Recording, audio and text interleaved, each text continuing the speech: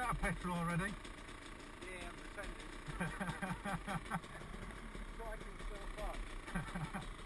yeah, I'm gripping on too tight. I'm getting bloody cramping my hands already.